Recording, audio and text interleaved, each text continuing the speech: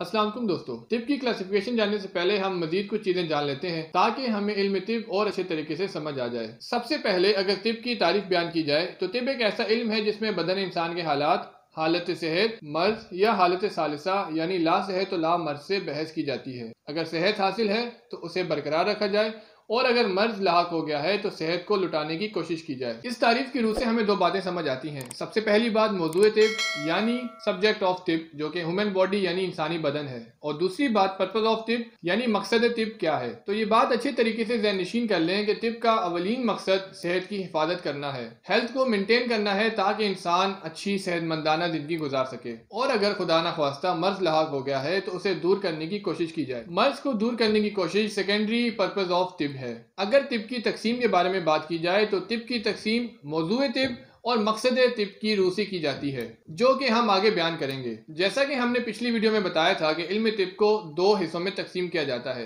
पहला हिस्सा इल्मी या नजरी है और दूसरा हिस्सा अमली है। तिब नजरी वो इल्म है जिसमें हम इल्म बयान करते हैं, जबकि तिब अमली में तदबीर और अमल से मुतालिक बातें बताई जाती हैं। तिब नजरी को मजीद आगे चार हिस्सों में तकसीम किया जाता है। सबसे पहले उमूर तिबिया, जिसे फंडामेंटल ऑफ़ बॉडी कहा जाता है। दूसरे नंबर पर इल्मुल अखवाल, जिसे स्टेट ऑफ़ बॉडी कहा जाता है। तीसरे नंबर पर इल्मुल असबाब, जिसे इटियोलॉजी कहा जाता है। और चौथे नंबर पर इल्मुल अलामात, जिसे सिम्टमेटोलॉजी कहा जाता है। उमूर तिबिया, यानी फंडामेंटल ऑफ़ बॉडी की मजीद आगे सात इकसाम है। सबसे पहले अरकान, जिसे एलिमेंट्स कहा जाता है। फिर मिजाज, यानी टेम्परामेंट फिर अखलात यानी ह्यूमर्स फिर आज़ा, यानी ऑर्गन्स अरवा, न्यूमा कुआ फैकल्टीज अफाल और फ़ंक्शन इल्महवाल यानी स्टेट ऑफ़ बॉडी की अगर बात की जाए तो इसे तीन हिस्सों में तकसीम किया जाता है। पहला हिस्सा हेल्थ यानी सेहत, दूसरा हिस्सा मर्ज यानी डिज़ीज़ और तीसरा हिस्सा इसका ला सेहत तो ला मर्ज जिसे नाइदर हेल्थ नॉट डिज़ीज़ कहा जाता है। इन तमाम चीज़ों के बारे में हम मजीद आगे डिटेल में बात करने वाले हैं। तिब इलमी की तीसरी इकसाम है इल्मुल असबाब, जिसे इटियोलॉजी कहा जाता है। इटियोलॉजी को दो हिस्सों में तकसीम कर दिया जाता है। पहला हिस्सा इसबाब सिता ज़रूरिया यानी सिक्स एसेंशियल फैक्टर्स और दूसरा हिस्सा इसबाब गैर ज़रूरिया है। इसबाब सिता ज़रूरिया या सिक्स एसेंशियल फैक्टर्स में हवा, यानी एयर माकूल मशरूब फ़ूड एंड ड्रिंक्स हरकत सुकून बदनी rest and movement of body हरकत सुकून नफसानी rest and movement of psyche नोमो यकजा, यानी स्लीप एंड वेक इस्तफरा और अहतबास यानी एक्सक्रीशन एंड रिटेंशन शामिल हैं। तिब इलमी की चौथी टाइप इल्मुलामात जिसे सिम्टमेटोलॉजी कहा जाता है, को दो हिस्सों में तकसीम किया जाता है।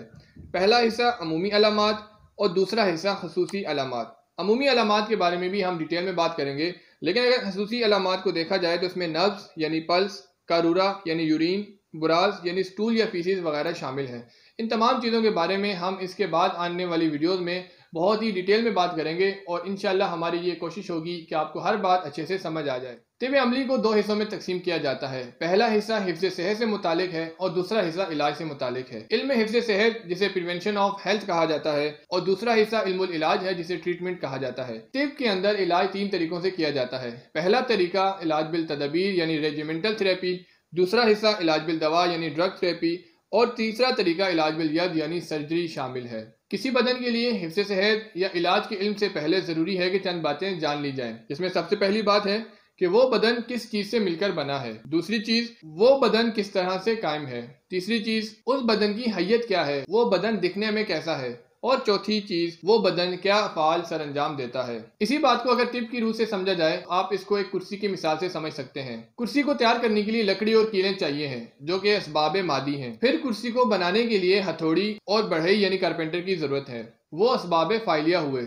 जो कि उस कुर्सी को बनाने के लिए काम करेंगे। जब ये कुर्सी बन जाएगी तो इसकी कोई ना कोई हैयत, कोई शेप होगी, जिसे इसबाब सूर्या कहा जाएगा। इस कुर्सी से जो काम लिया जाएगा, वो है बैठने का काम। तो वो इसबाब तमामिया या गैया कहलाएगा। इसी चीज़ को अगर इंसानी बदन के लिहाज से देखा जाए इसबाब मादी में अरकान, अखलाक अज़ा और अरवा हैं।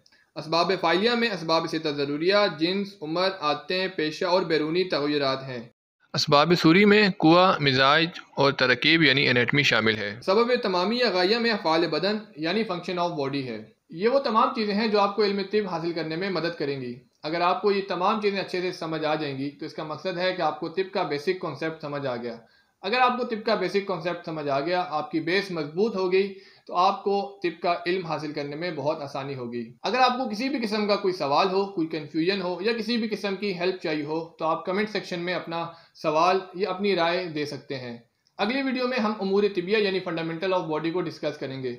उम्मीद करता हूँ आज की वीडियो में आपने कुछ सीखा होगा। अगर आपको वीडियो अच्छी लगी तो लाइक करें, अपने दोस्तों के साथ शेयर करें और हमारा चैनल सब्सक्राइब करें। आज के लिए इतना ही। अल्लाह ने के बाद